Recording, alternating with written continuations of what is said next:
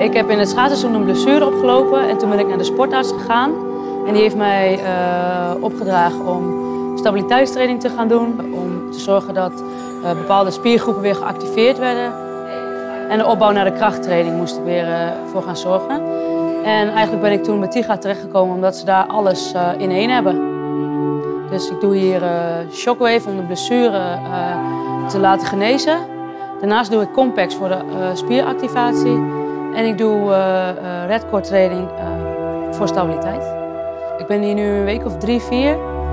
En ik ga vooruit omdat ik word stabieler in het redcord. Ik fiets makkelijker. mijn heupen staan nu weer recht. En dat gaat eigenlijk heel goed.